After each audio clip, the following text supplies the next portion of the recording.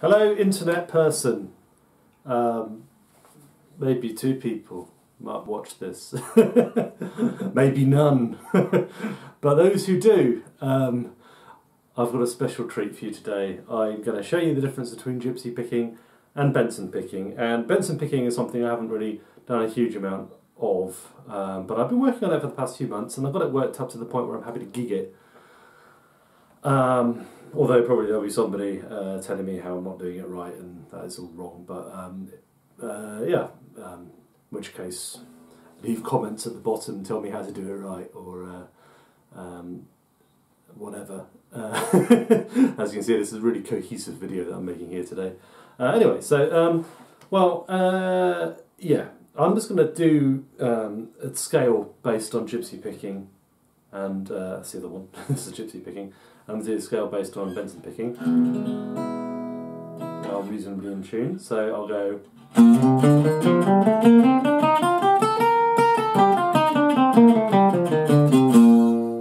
Watch it from the side, there you go.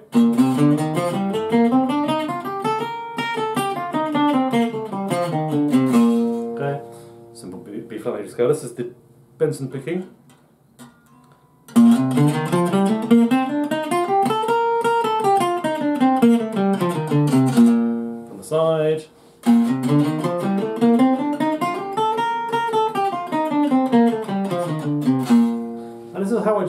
Benson picking, which is, uh, I don't think it's pure Benson picking. It's a little bit of a softer grip, and I, I use, um, I kind of use my middle finger to support the pick as well, which is something that Kurt Rosenwinkel and Pat Metheny do. Um, it's something I used to do before I learned how to gypsy pick, although I wasn't actually, I wasn't using the trailing edge of the pick to to uh, to play with at that point. This is this is this is new. So this is probably not purist Benson picking, and it has a different kind of sound, I think.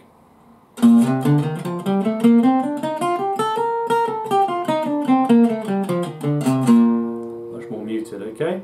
So I mean, I'll let that speak for itself um, in terms of acoustic sound. This is this guitar is not plugged in, so it's purely off the guitar itself that you're hearing the tone. Um, my feeling is that Benson picking is really flexible. They can do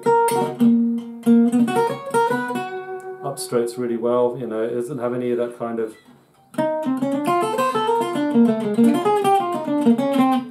Um, if I gypsy pick that, you know, it's like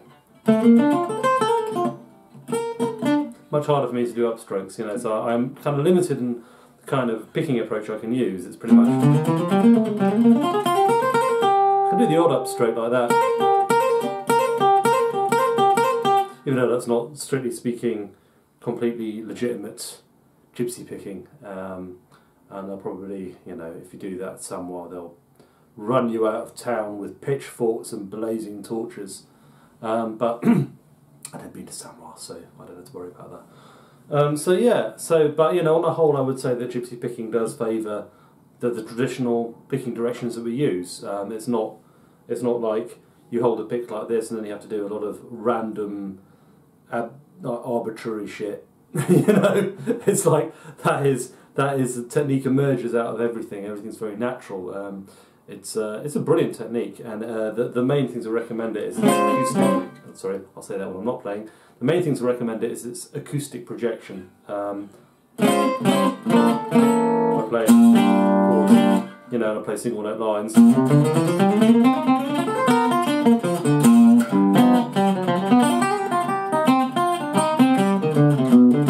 And what's more is you can get a lot of acoustic projection without tension. Really not kind of, I'm not whacking the guitar here, I'm just kind of...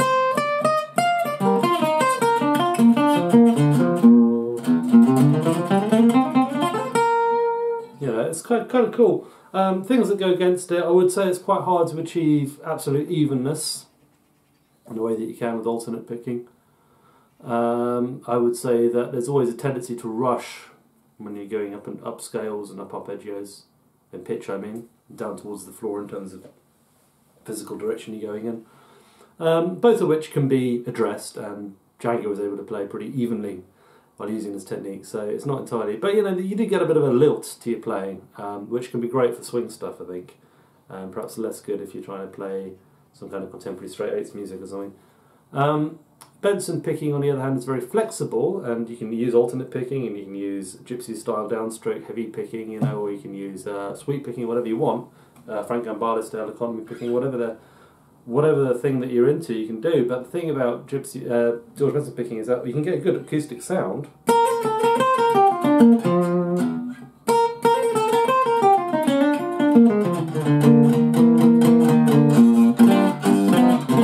Especially if you hold the pick heavily. And, and you know you can get the freedom of the wrist, but I do find that to play hard, oops, excuse me, to play hard, you just kind of need a little bit more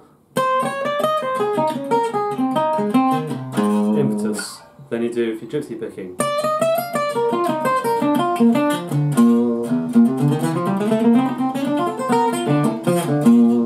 But I mean, your mileage may vary. I mean, I know that Sebastian Janil, he kind of uses uh, this kind of pick grip. Um, people seem to disagree on whether or not he's actually using Benson picking. So I'm, I'm open to the idea that this could eventually replace my gypsy picking technique. Um, nice to have one technique that covers everything, but I mean, for the moment, I still, you know, and also something, you know, something quite.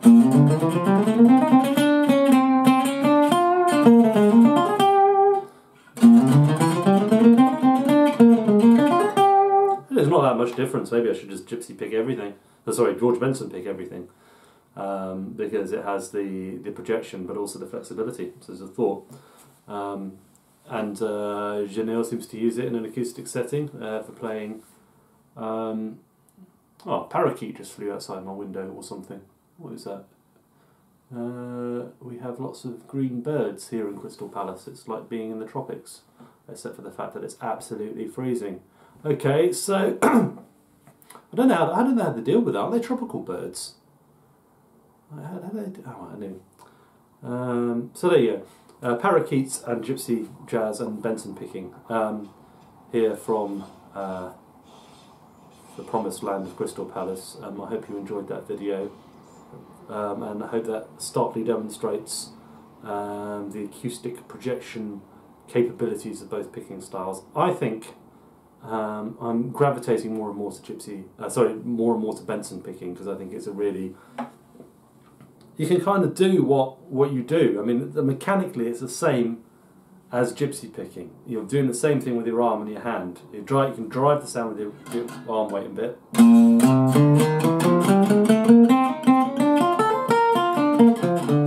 The only thing that I would say would kind of compromise your acoustic sound would be um, the fact that you are actually anchoring your hand on, on the guitar, which you're not doing with gypsy picking. So if this scratch plate wasn't here, if I was playing on a Maccaferri, Maybe I'll play it on my Maccaferri and we'll see the difference. So, this is uh, uh, gypsy picking. Try. It's the lick I always play when I pick up a guitar. It's always the same. Maybe with one finger, because using that finger there isn't strictly speaking Benson picking. Well, I'm finding my arm locking up a bit. It might just be a reflection of the fact that I haven't quite mastered Benson picking yet, rather than that the technique causes you to lock your arm up um, when you're playing loud. Anyway, um, I hope that was of interest to you. I didn't really notice too much difference in the guitar sound from where I'm sitting between the two techniques. Um, but they might come out on camera differently, um, as often these things do. So I hope you find that interesting and instructive, if a little rambling. Thank you very much. See you in the next exciting video.